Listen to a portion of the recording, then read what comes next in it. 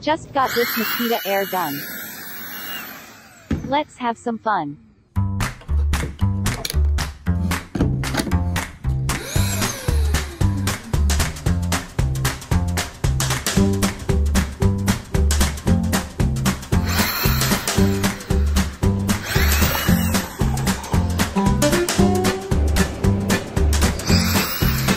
Are you freaking kidding me?